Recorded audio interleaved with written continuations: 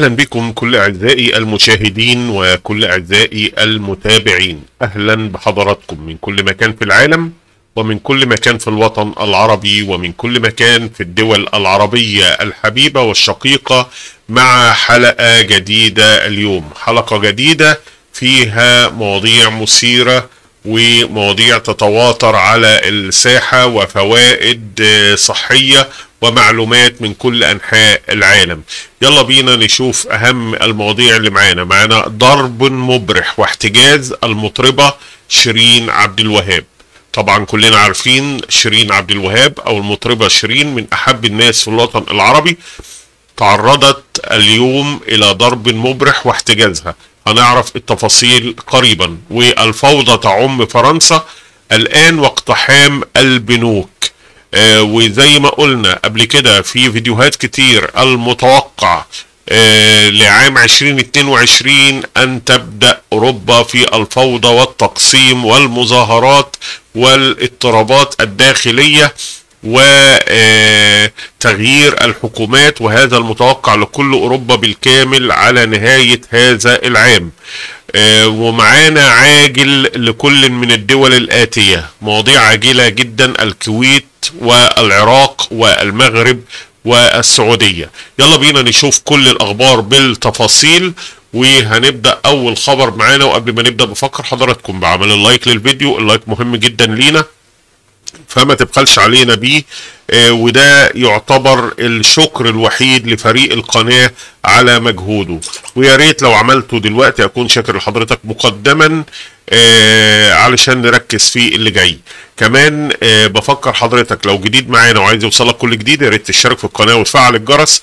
ويا جماعة ما توقفوش المعلومة عندكم. المعلومة ممكن تفيد غيركم جدا فأرجوكم شيروا الفيديو وانشروا المعلومة للجميع واعملوا شير وآخر حاجة بطلبها منكم دايما في هذا العام 2022 عام البلاء والغلاء والوباء والحروب. لازم نقول مع بعض هذا الدعاء اللهم ارفع غضبك ومقتك عنا. اللهم ارفع عنا البلاء والغلاء والوباء والحروب. وانزل رحمتك ولطفك على عبادك يا رب العالمين. آمين.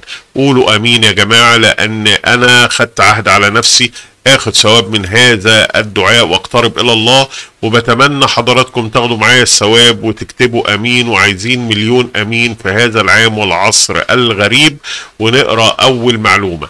هبدأ معاكم بالمعلومة الصحية أو الطبية اللي اتفقنا عليها في الموقع أو في هذه القناة بإن إحنا نقول معلومة صحية مع كل الأخبار السيئة والمتشائمة هذه فعندنا عشر فوائد مذهلة للرمان على صحتك يحميك من أمراض القلب والسرطان. ونقرأ فوائد الرمان. يحمل الرمان فوائد غذائية عديدة على صحتك فهو غني بالمركبات والفيتامينات التي تجعل منه طعاما صحيا للوقاية من العديد من الأمراض حيث يحتوي على مضادات الأكسدة خاصة مادة البوليفينول وفيتامين سي الذي يلعب دورا في تعزيز مناعتك في فصل الشتاء بجانب دوره في الحفاظ على صحة الجهاز الهضمي. وفيما يلي بعض الفوائد المحتملة للرمان طبقا لما ورد في موقع هيلث لاين اولا غني بمضادات الأكسدة. واثنين غني بفيتامين سي أكثر من 40% من احتياجك اليومي. يعني لو خدت ثمرة رمان واحدة هتبقى 40% من احتياجك. ولو خدت ثمرتين رمان يبقى كده أنت خدت احتياجك الكامل التقريبي من فيتامين سي. والوقاية من السرطان. وجد الباحثون أن الرمان قد يساعد في وقف نمو خلايا السرطان البروستاتا لاحتوائه على مضادات الأكسدة. الوقاية من الزهايمر. والحفاظ على صحة الجهاز الهضمي ويقلل التهاب الأمعاء ويحسن الهضم ومفيدا للأشخاص المصابين بداء كرون والتهاب القولون التقرحي وأمراض الأمعاء الالتهابية. مفيد جدا يا جماعة من دكتور فعلا قال لي مفيد جدا جدا للي عنده التهاب في القولون أو تقرحات في القولون والأمعاء. آه كمان مضادات للالتهاب. عصير الرمان مضاد قوي للالتهابات بسبب تركيزه العالي من مضادات الأكسدة لذا يمكن أن يساعد في تقليل الالتهاب في جميع أنحاء الجسم ومنع الأجهاد التأكسدي والأضرار. التهاب المفاصل قد تساعد مركبات الفلافونول الموجودة في عصير الرمان على منع الالتهاب الذي يساعد في التهاب المفاصل وتلف الغضاريف وهشاشة العظام والتهاب المفاصل الروماتويدي. وأمراض القلب يعتبر عصير الرمان من أكثر أنواع العصائر المفيدة لصحة القلب. حيث وجدت دراسات سابقة أنه يحسن تدفق الدم ويمنع الشرايين من أن تصبح سميكة كما يؤدي أيضا إلى إبطاء نمو اللويحات وتراكم الكوليسترول في الشرايين. يعني نقول ربنا عطينا معجزات في هذه الفواكه فما تقللوش منها يا جماعة وما تلجأوش إلى الأدوية وخلاص. الوقاية من ارتفاع ضغط الدم وعصير الرمان يوميا برضو بيعمل انخفاض في ضغط الدم ومضاد للفيروسات لأنه غني بفيتامين سي والعناصر الغذائية الأخرى التي تعزز المناعة مثل فيتامين إي كما ثبت أيضا إن الرمان مضاد للبكتيريا ومسببات العدوى المختلفة. الحمد لله على إن ربنا بيدينا هذه الفوائد وال الفواكه اللي ممكن تفيدنا في كل حاجة فاكثروا من الرمان. نخش بقى على نروح لباريس في ظل أزمة وقود والتضخم مظاهرات حاشدة بباريس وتحطم واجهات المصارف أو البنوك وأنتوا شايفين أدي المظاهرات التي تعم الآن. وأنا بكلمكم دلوقتي برضو حتى الآن المظاهرات في كل مكان في باريس وقاموا بتحطيم واجهات البنوك ومطالبات بفرض ضرائب أكثر على الأغنياء واتخاذ إجراءات جدية في مواجهة التغير المناخي. والكلام ده بتاريخ 16 أكتوبر يوم الأحد 16 أكتوبر 2022 قبل ما نخش فرنسا ميلانشون يدعو الفرنسيين إلى المشاركة الواسعة في تظاهرة الثلاث المقبل ويقول لهم لا تتركوا مكانكم في المعركة للآخرين. ودي كارثة إن فرنسا النهاردة الحد وعايزين يعملوا تظاهر يوم الثلاث وإضرابات الآن في فرنسا في كل مكان. وهنا فرنسا. وفرنسا بيقول عشرات الآلاف يتظاهرون احتجاجا على غلاء المعيشة. وادي مش واحد ولا اتنين ولا ألف عشرات الآلاف.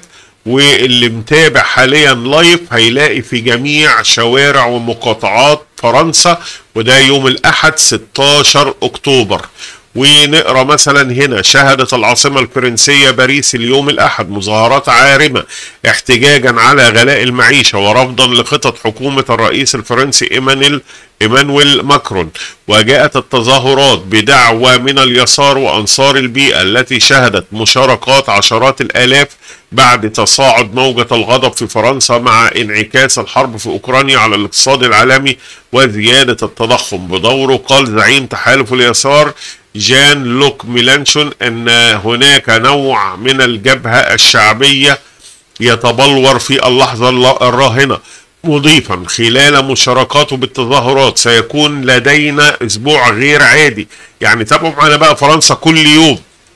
وعلينا أن نفكر جميعا كيف نساعد بعضنا البعض. مؤكدا أن فرنسا تعيش في الفوضى ليس بسببكم بل بسببهم. فرنسا تعيش في الفوضى فعلا في كل نواحيها. وشدد على أن الوحدة الوطنية هي حل للأزمة. معتبرا أن الوحدة الشعبية ممكن أن تصبح جبهة شعبية داعيا المتظاهرين إلى المشاركة الواسعة في تظاهرات الثلاثاء المقبل متوجها إليهم بالقول لا تتركوا مكانكم في المعركة للآخرين ولا تستسلموا وامنعوا, وإمنعوا سرقة ثرواتكم. وطبعا عندنا هنا إن من كتر المظاهرات ما تمت إن قاموا بتحطيم واجهات المصارف وطبعا ممكن نشوف الفيديو بس ما أقدرش علشان حقوق الطبع والنشر. وتزامنا مع استمرار أزمة نقص الوقود في فرنسا بسبب إضراب عمال المصافي نظمت أحساب أحزاب اليسار كذا وأفاد مراسل العربية بأن المتظاهرون يحطمون واجهات مصارف أو بنوك في باريس فيما قال منظم المظاهرات أن عدد المشاركين بلغ 140 ألف شخص 140 ألف شخص ويطالب المشاركون برفع مستوى الرواتب ومكافحة ارتفاع الأسعار وتحديد سن التقاعد عند مستوى الستين عام. وخلي بالكم يا جماعة طبعا كلام كتير مش هنخش بقى فيه ولكن الخوف كمان مش في فرنسا. الخوف إن بدأت تيجي آه آه يعني مطالبات لبعض الدول العربية اللي بتخضع لضغط رهيب في الأسعار وضغط رهيب في المعيشة. وغلاء المعيشة بعمل مظاهرات مماثلة لما يحدث في باريس والدول الأوروبية. ولكن أرجوكم حافظوا على دولكم وما تخلوش الخلايا النائمة التي تهدف إلى آه، إحراق البلاد وعمل ثورات فهذه مخططات أمريكية بحتة مخططات مثل مخططات الربيع العربي. فكل واحد يكون حكيم وحاطط عقله في دماغه وفاهم بيعمل إيه حتى لا نقع في براثن هذه الثورات. آه، وربنا يعديه على خير. وعارفين إن في ضغط غير عادي في غلاء المعيشة.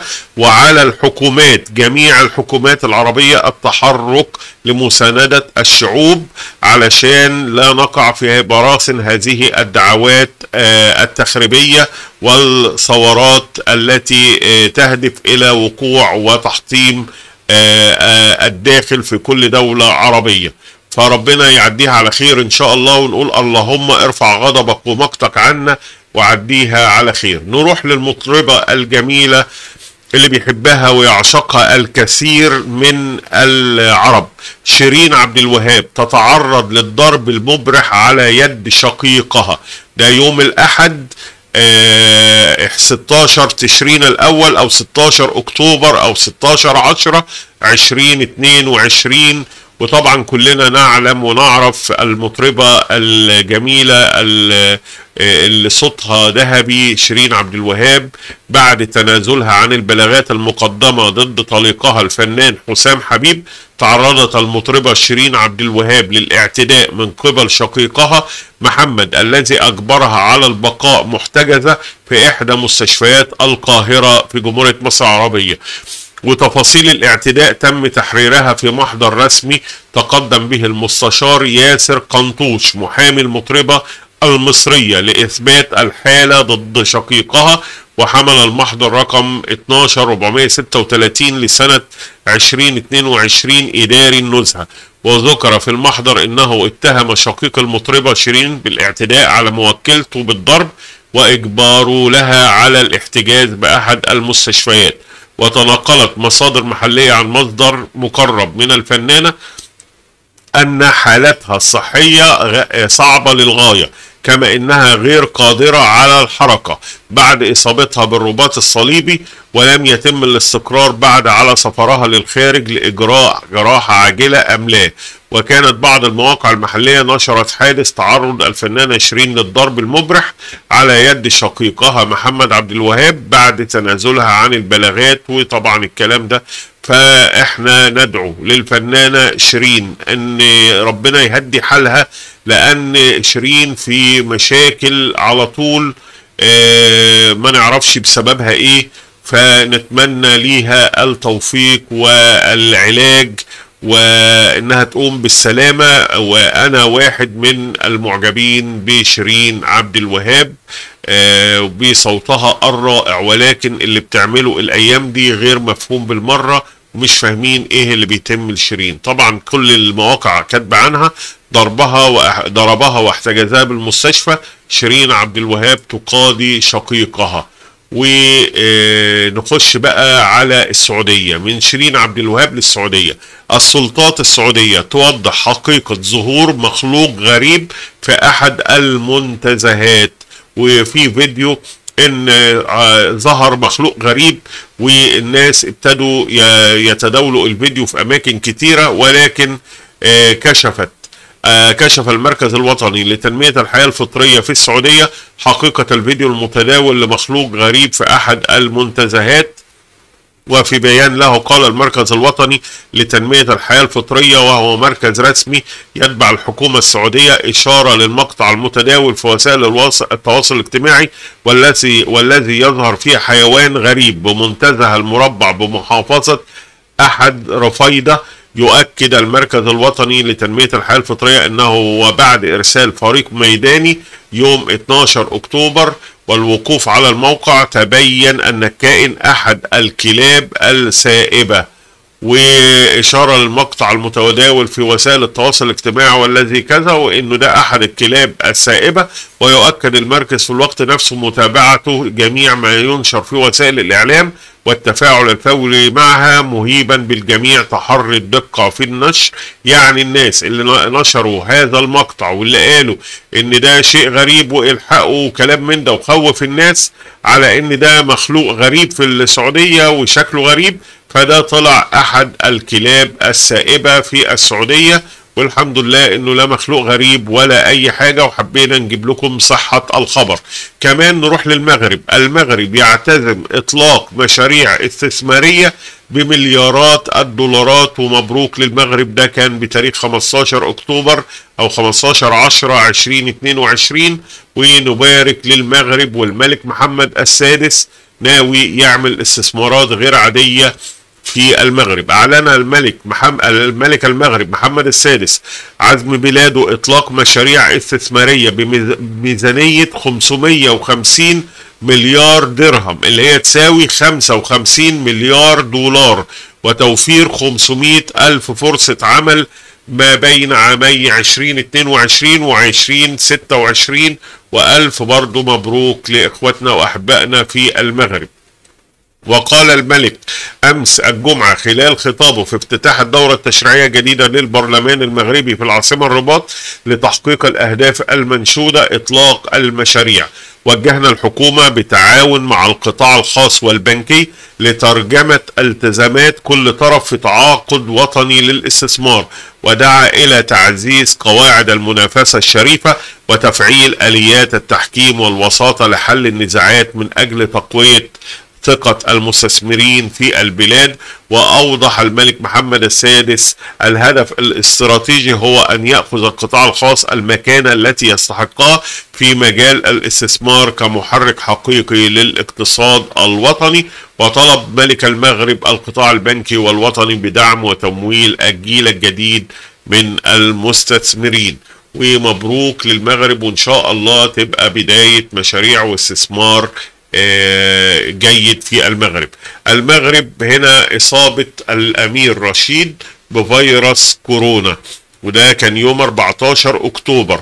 وبيقول الخبر أفادت القناة المغربية الأولى بأن الأمير مولاي رشيد تعذر عليه مرافقة الملك محمد السادس إلى البرلمان مساء الجمعة بسبب إصابته بفيروس كورونا. نتمنى للأمير رشيد كل الصحة والعافية ويقوم إن شاء الله بكل خير. وصل قبل لحظات صاحب الجلالة الملك محمد السادس مرفوقا بولي العهد. صاحب السمو الملكي الأمير مولاي الحسن إلى مقر البرلمان لترأس افتتاح الدولة الأولى الدورة الأولى من السنة التشريعية الثانية من الولاية التشريعية الحادية والعشر. ولم يتمكن صاحب السمو الملكي الأمير مولاي رشيد من مرافقة جلالة الملك حفظه الله في هذه المناسبة نظرا لإصابته بفيروس كوفيد 19 أو فيروس كورونا. ونتمنى للأمير كل الشفاء والتعافي. معانا كمان من الكويت. الكويت خلاص الأمير الكويت يصدر مرسوما بإعادة تشكيل الحكومة. ده بتاريخ يوم الأحد 16 أكتوبر أو 16 10 2022 ويتم إعادة تشكيل الحكومة الجديدة. أصدر أمير الكويت الشيخ نواف الأحمد الصباح يوم الأحد مرسوما أميريا بإعادة تشكيل الحكومة. وقال مركز التواصل الحكومي أن إعادة تشكيل الحكومة برئاسة أحمد نواف الأحمد الصباح. شمل تعيين طلال خالد خالد الأحمد الصباح نائبا أول لرئيس مجلس الوزراء ووزيرا للداخلية وبراك علي براك الشيتان نائبا أيضا ووزير دولة لشؤون مجلس الوزراء وأكد مركز التواصل الحكومي الكويتي إنه تم تعيين بدر الملا وزيرا جديدا للنفط ونائبا لرئيس مجلس الوزراء وأضاف أن المرسوم الاميري بتشكيل الحكومة تضمن أيضا تعيين عبد الوهاب الرشيد وزيرا للمالية وسالم الصباح وزيرا للخارجية وعبد الله السالم وزيرا للدفاع. وصدور مرسوم بإعادة تشكيل الوزارة سمو الشيخ أحمد نواف الأحمد الصباح رئيس مجلس الوزراء ده يوم 16 10 2022 ودي أسامي كل الوزراء موجودين ونتمنى للحكومة الكويتية آه، كل الخير وقيادة الكويت بكل خير إن شاء الله. والخير يعم على جميع دولنا العربية بإذن الله. آه، معانا كمان من العراق عضو تحالف الفتح الحكومة العراقية الجديدة ستلاحق ترامب في قضية اغتيال المهندس. وده كان بتاريخ 15 10 أو 15 أكتوبر 2022 وده من أوائل القرارات اللي هتعملها الحكومة العراقية الجديدة.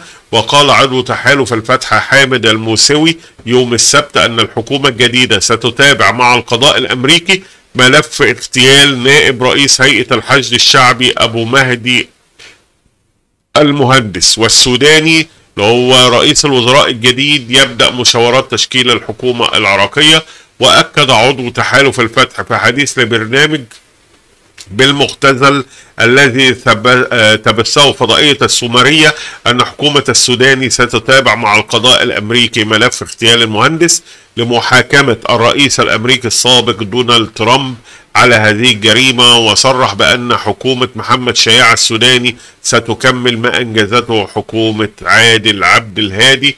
كل التوفيق وتمنياتنا بكل التوفيق لحكومة العراق الجديدة. وإن شاء الله يستعيدوا ما أخذ منهم. بعد عام ونصف من التأجيل افتتاح مطار كركوك الدولي في العراق وألف مبروك للعراق الحبيب والشقيق. وإن شاء الله تبدأ العراق تستعيد صحتها ويصبح العراق الجريح كما كان من قبل العراق القوي الأبي الكبير.